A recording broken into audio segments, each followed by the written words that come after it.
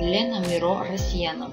Вас с вашим горем не позовут к Малахову. Блогер Лена Миро в свойственной ей манере прокомментировала массовое беспокойство вокруг здоровья актрисы Анастасии Заворотнюк.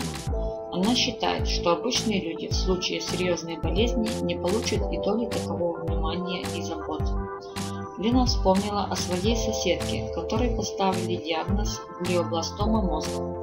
По словам Миро, она умерла в муках на руках у своей мамы. Блогер сравнила эту ситуацию с тем, как освещалась болезнь Юлии Началовой и как сегодня обсуждается заболевание Анастасии Заворотнюк.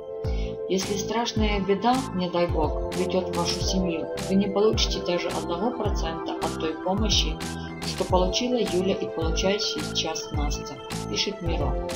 Она пожелала читателям, чтобы они никогда не оказались в подобной ситуации. Однако заметила, что если такое случится, карета скорой помощи проведет у подъезда среднестатистического человека не больше 10 минут. Лена обратила внимание на то, что больным, но не бедным деятелям шоу-бизнеса посвящают программы на ТВ, а ребенку простых родителей такая поддержка, по ее мнению, оказана не будет. И вот поэтому по-настоящему страшно, заключает Мирон.